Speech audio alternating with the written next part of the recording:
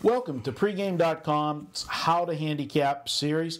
This is conference tournament week, bubble teams. We're going to talk about that. It's a big topic. I'm here, Marco D'Angelo, along with Vegas Runner, uh, coming to you live from Las Vegas in the pregame.com studios.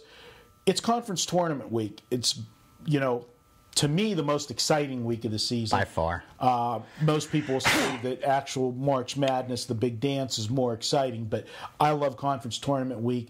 You Until get, the madness starts. Well, yeah, it, it, it's That's how I do it every well, year if I you asked me the two, I like this week better. Me too. Me too. The situation being you're talking you're, you're handicapping teams that have played one another. You know, generally for most conferences twice already. I think Some, it's easier as a handicapper for to us, isolate value. You've got situational handicapping that you don't have during the regular season, and that being that these teams have to play you know back to back to back. If if they keep winning, they're going to play four games in four days. Yeah, and there's no history on how they re, how they perform or how even you know a lot of times the coaches what their ability to adjust that quickly. Right, because it's not it's not something that they do, and that's you know one thing that you know veteran coaches have, have, been here before, know how to you know manage a team. You know, it's not only do you win and move on, but you got to you got to manage the, yeah yeah. It's not just the game plan, but to manage the players absolutely for the next game.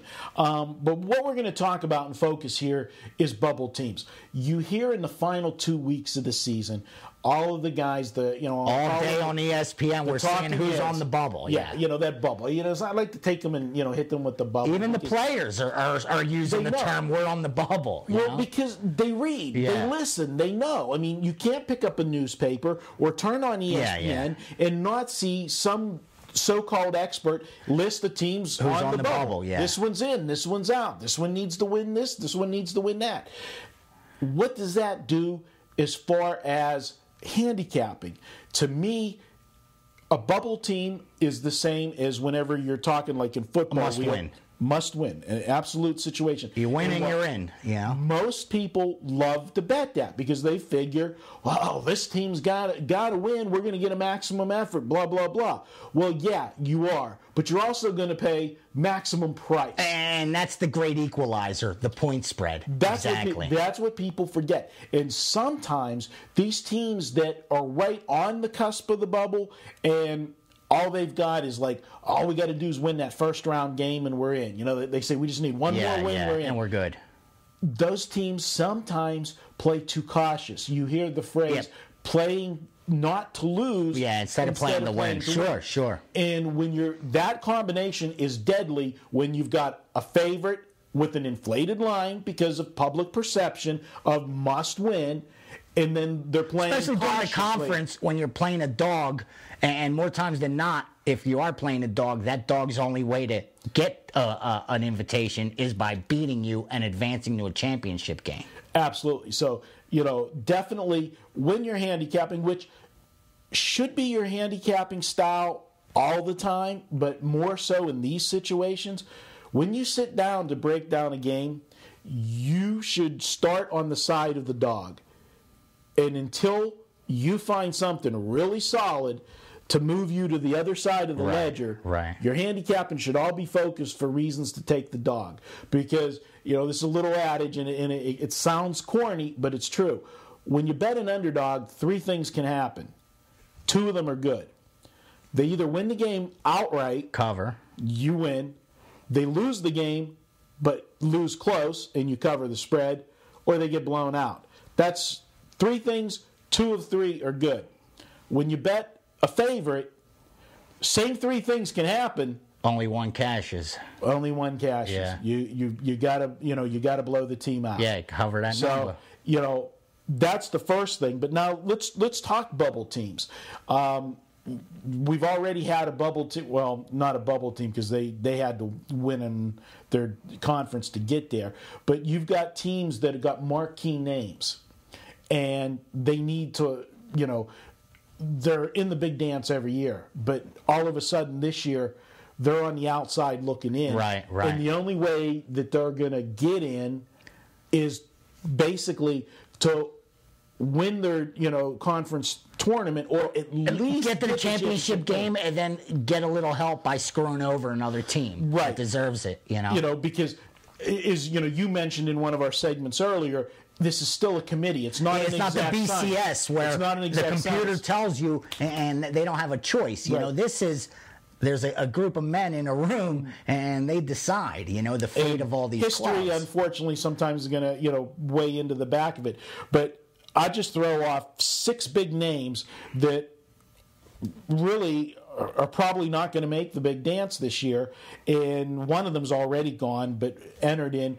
UConn yeah, Final Four last year. UConn every year is you know is Uh, yeah, a many- March Madness Sweet 16. Yeah, yeah. You, know, always see Calhoun. 18. Yeah, yeah. they're gone. North Carolina, defending national champion, they're not even going to make the tournament unless they win the ACC. Yeah, I think they. I do. I, I believe they have to win it. I mean, if they get to the championship game, there's a chance. You know, if there's not if there's no surprises in the other elsewhere, yeah. Right. If the teams that win the smaller conferences do win it, you Right. know.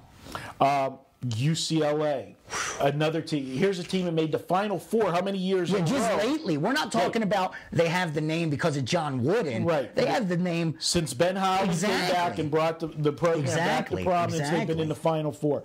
They're not going to make the tournament.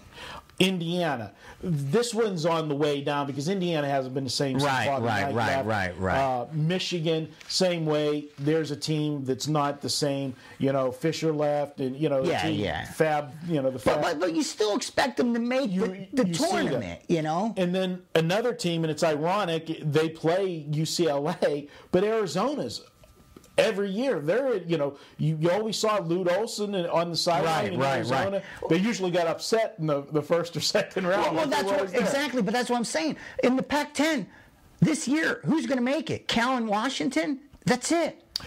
I think Arizona State's going to make some noise. I- I It- it- yeah, that, that, exactly. But I think teams like that have to make some noise in the conference tournament to get there. The only automatics I think right now have to be, you know, a team like Cal and Washington. I, I agree with you 100%.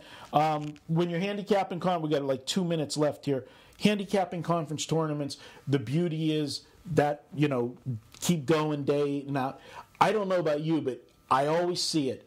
You know, you think it about it and automatically you think, well, if it runs true to form, you're going to see number one seed versus Play number, two, seed yeah, yeah. in- like in like Gonzaga played St. Mary's, Yeah, you know. That It don't happen in the BCS conferences. It, it doesn't. It- more often than not, you know, you might get one of the one and twos, but there's always somebody that made a run in Yeah. the, that got hot for two or three games. There might have been a team. So many, and this is this is a good scenario to look for.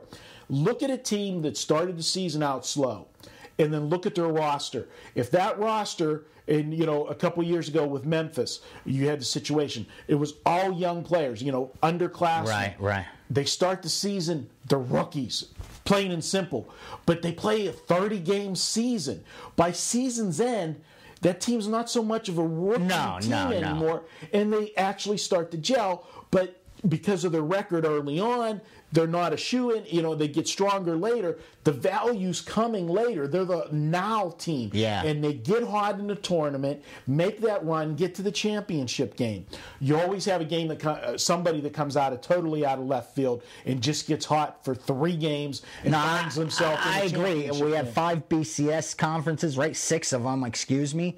I, I'd say I'd be surprised if in one of them, I'd make the over under one that we have number one play number two in the championship game. wrapping up this first segment, what we're telling you out of here is be careful of the marquee teams. They, you know, they're going to be overpriced. The value's not going to be there with them. Look at dogs. You know, look for spots to go against these bubble teams because the public knows they have to win.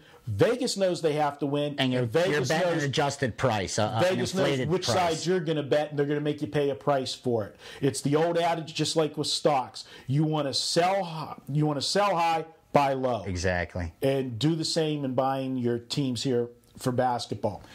Great segment, bubble teams, how to handicap. We're going to have another segment. We're going to talk another topic on conference tournament handicapping. He's Vegas Runner. I'm Marco D'Angelo.